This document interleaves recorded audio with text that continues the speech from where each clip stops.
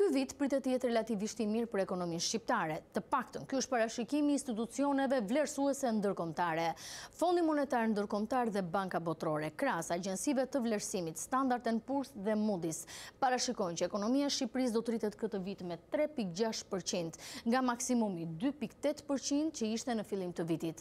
Por cilat janë burimet e rritjes ekonomike sipas ndërkombëtarëve? Ata vlerësojnë se ka pasur një rritje të ndjeshme të nivelit të të ardhurave. Por, vlen të theksohet se kjo rritje nuk ka ardhur nga mirëadministrimi apo forcimi i prodhimit vendas. Është rritja e çmimeve që ka gjeneruar më shumë të ardhura në buxhet, kryesisht nga tatimi mbi vlerën e shtuar. Elementi i dytë që theksojnë ndërkombëtarët është përmirësimi i aftësisë paguese të qeverisë për borxhin.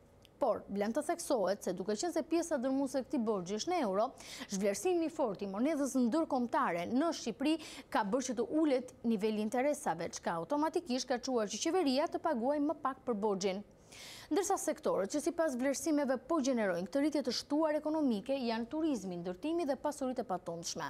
Në fakt, turizmi ka njohur një rritje të paprecedentë këtë vit, ndërsa ndërtimi dhe pasuritë e patundshme konsiderohen sektorë me ndikim më relativ, duke qenë se vlera e tyre e shtuar në afatgjatë në ekonomi mbetet e diskutueshme.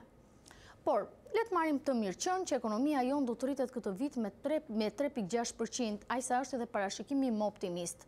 Sa përkthehet kjo në mirëqenien e shqiptarëve? Për këtë le të bëjmë një krahasim me inflacionin, treguesin që dëshmon për rritjen e çmimeve.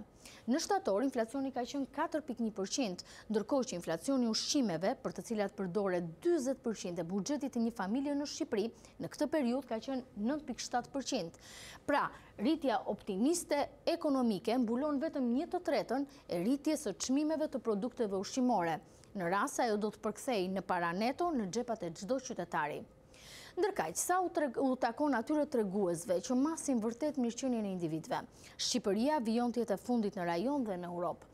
Kjo si për të ardhurat për frymë në raport me madhësinë e ekonomisë, ashtu edhe për të ardhurat në raport me fuqinë blerëse. Sipas të dhënave të Institutit Europian të Statistikave, të ardhurat për frymë në raport me prodhimin e brendshëm bruto për vitin 2022 ishin sa 34% e mesatares së Bashkimit Europian.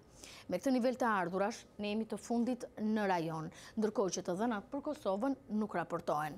Nivelin më të lartë në rajon e ka Mali i Zi me 50% e mesatares europiane, ndjekur nga Serbia me 44% dhe Maqedonia e Veriut 42%, Bosnja-Hercegovina 35% e kësaj mesatareje. Edhe treguesi tjetër, ai i konsumit individual për frymë, që mat të ardhurat sipas fuqisë blerëse apo mirëqenien e një familjeje, e vendos Shqipërinë në fund me diferencë të ndjeshme nga rajoni. Ky tregues është për Shqipërinë sa dyzet për qind të mesatares së Bashkimit Europian.